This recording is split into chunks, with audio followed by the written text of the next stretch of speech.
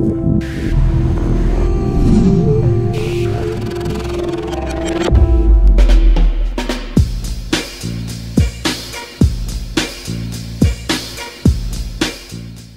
up guys, this is Juho making stuff and we are starting a new project. I found this pretty cool T-Rex model from Thingiverse. Uh, it's a it's the MakerBot. Um, I don't know what what it is, but uh, MakerBot I guess did it. So you could you could print it with their uh, printer or something like that. Um, but um, I'm running the Prusa so printer, so um, uh, I just got the STL files and uh, printed printed it out. Um, uh, in case you're wondering why the different colors, um, I just ran out the black and uh, had to change to switch to this lighter color, which is actually pretty close to looking bone. But anyways, we're going to paint all over these and uh, do some weathering and uh, make the bones look old.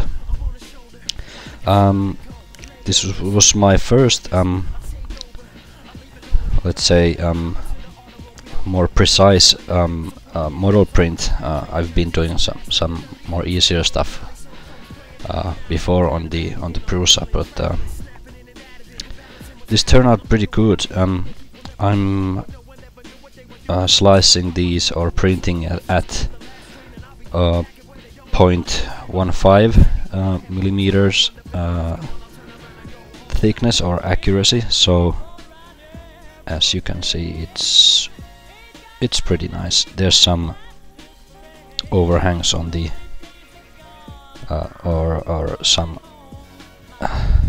let's say um,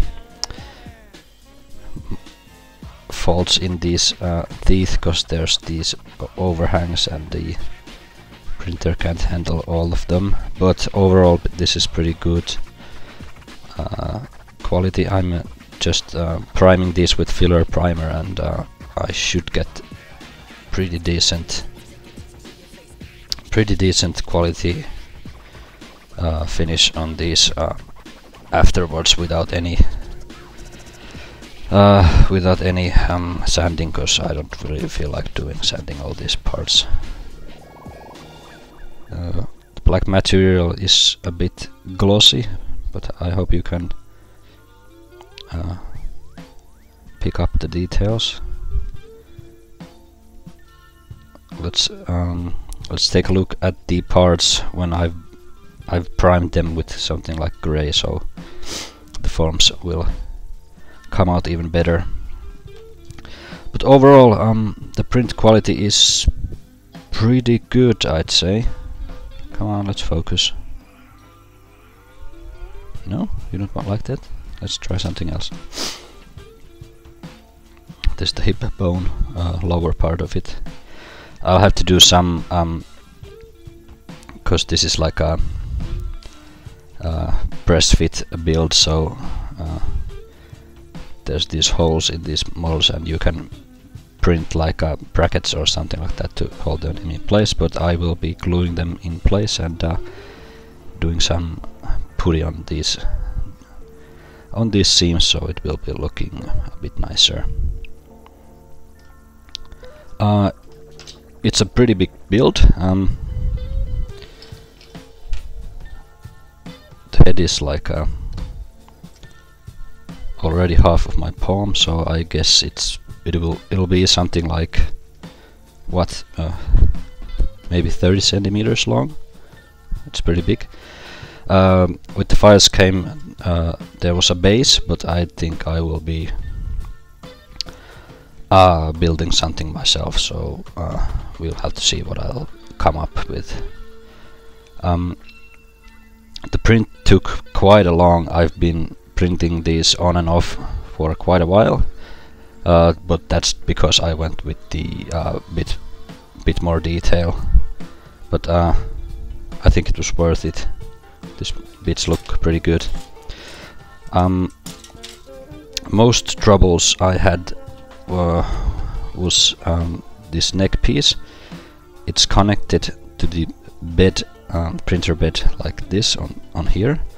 So as you can imagine when the printer is um, printing these parts so there will be uh, somewhat uh, I don't say a lot of pressure but uh, pressure in here uh, and uh, uh, I failed this print a couple of times. I didn't want to use supports as they come with the slicer software so when it would be filled with supports so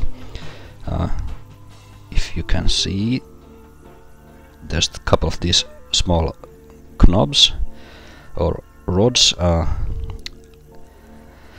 uh, that I just modeled here to uh, be a uh, like a detachable supports that I can uh, easily get rid of.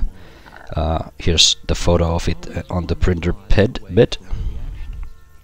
Yeah, so it it did the trick, and I finally could finish this one. Usually it kind of broke loose at somewhere around this level when the uh, leveraging force was too much for the attachment even though I put like a um, something like 10 millimeter brim on here so it would uh, stay on the bed but it came loose anyways. Um, but uh, for the printer I guess the ribs were the uh, hardest part to print. Uh, there was a lot of overhang and you can see it on the bottom side of the um, ribs. Um, they need to get some cleanup but it's not that bad. There's also some um, what do you call this? Wiring no?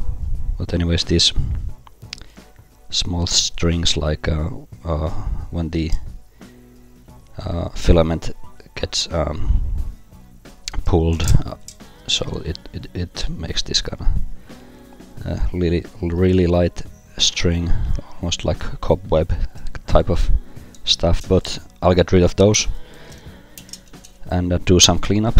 Um, uh, I've already uh, removed the most of the base attachment brim thingy. Uh, if this could focus yeah. Uh, it's it's the sharp edge here so I'll have to clean up those and uh, the head was attached on the bed like this. So there's a big flat space here. So I'll do something like putty um, sculpt here so that it, it won't stand out so much because uh, when the neck attaches somewhere like here. So that looks pretty weird. May have to look some references uh, how the back of the skull actually goes but um, this this doesn't have to be 100% accurate so something close enough should do fine. But it's really well done uh, the the the model because uh, everything fits pretty nicely and uh, it uh, should be uh, uh, or could be assembled without any glue with the clips that you can print. But I will be gluing this one. Um, so and maybe if um, there's enough support in these actual bones and then th I maybe don't have to use like a support stick to the somewhere to the stomach or something like that. So maybe it can hold on its own. But um we'll see that later. Uh, so I'll start cleaning up these things and uh, uh, start priming them and uh, get rid of those most of those lines. Alright so I started out cleaning up, up those rims. They were pretty easy just using sandpaper and knife.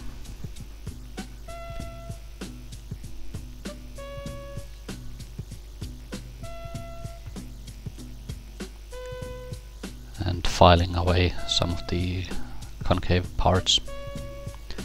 Uh, you remember those uh, small string type of uh, filament debris there. Um, turns out you can burn them away. So here I am just using a small torch just to kind of melt the small strings away. Worked out pretty well.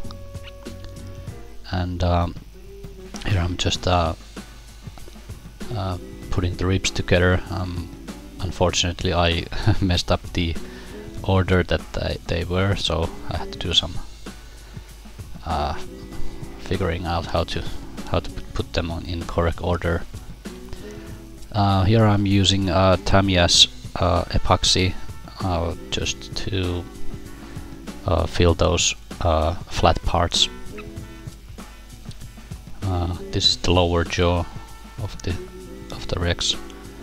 the jaw had a couple of those flat flat spots there, so I'm I'm rounding them up and doing the back of the skull also.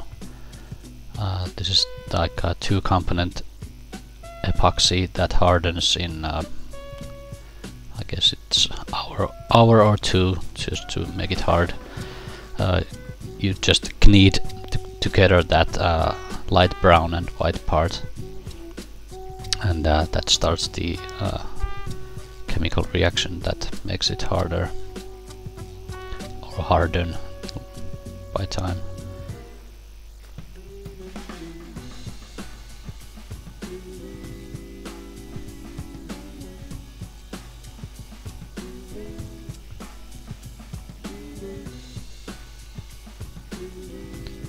and this is the hip. Um, the hip was two parted, so uh, le I left with the seam, seam line, so I'm using uh, the Tamiya filler just to fill that gap.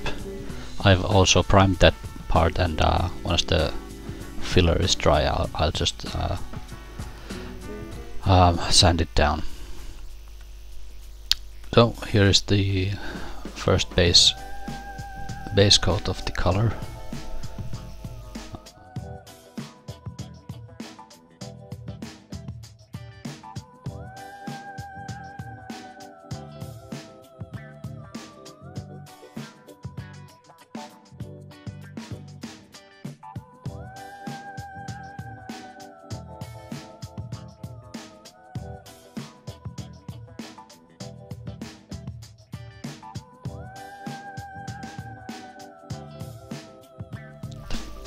primer uh, worked out pretty well uh, to eliminate those print lines. Here I'm using a darker brown to put in the holes and the crevices uh, you know like doing a ambient occlusion type of effect there I was um, putting some some thinner or more thinner paint because the paint wasn't flowing that well so I thinned it out a bit more.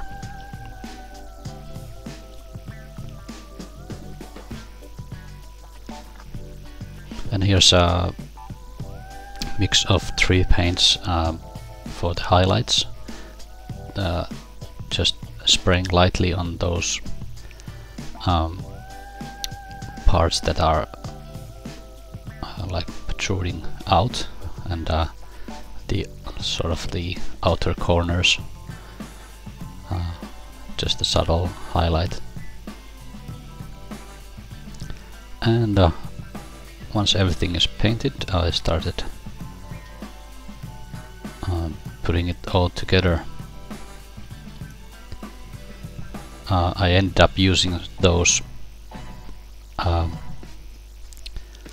joining parts on on some some occasions because they were uh, working out pretty well but I also used used glue glue on those parts too.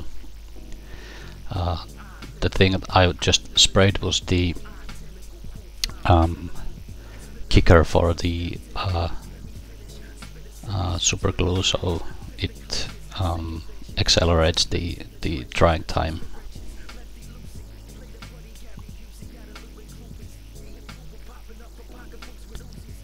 The actual model ended up being quite big. It's, I think I measured it something like 53 centimeters from from nose to tail, so it was a lot bigger than I expected. So once everything was uh, painted, I started building up the base. I'm using like a, I guess it's uh, spruce or something like that. Can't even remember what what the wood I was using. Uh, there I'm I'm just doing a uh, an angled cut just to make it a bit, bit more interesting than uh, than just a square. So it's it it has a, like a bevel on the sides there.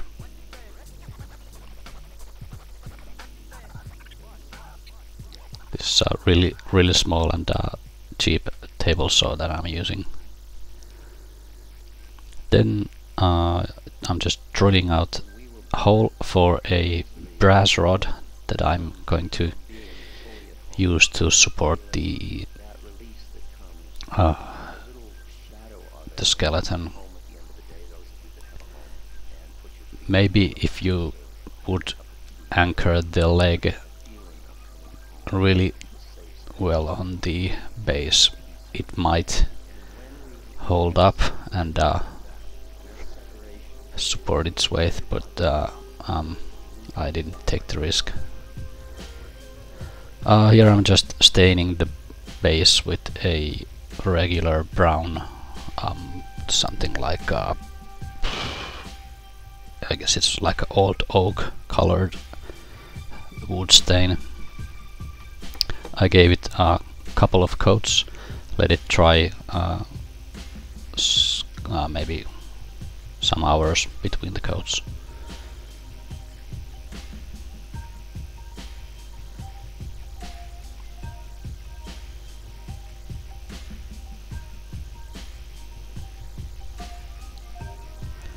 Second coat uh, made it much more even, the surface. So don't be alarmed if, if the first coat is uh, a bit more blotchy. So there we go. That's the final final product.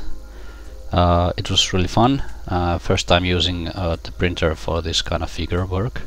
Uh, the big size uh, made it easier for the printer, but I guess you could print a lot smaller things with a reasonable resolution. So that's it for the MakerBot build T-Rex let's see what, what I'll do next. Uh, hit that like, subscri subscribe, and uh, see you again. Bye. My guru once said, nobody dies a minute too soon or a minute too late. And if your commitment is to the physical plane, to the E, and that's what's real to you, then if that's all there is, then longer is better. They may not be, but I mean, I'm just giving you a little metaphor to play with. You know, it's all because this thing is not conceptual, but I'm playing with concept. I would say.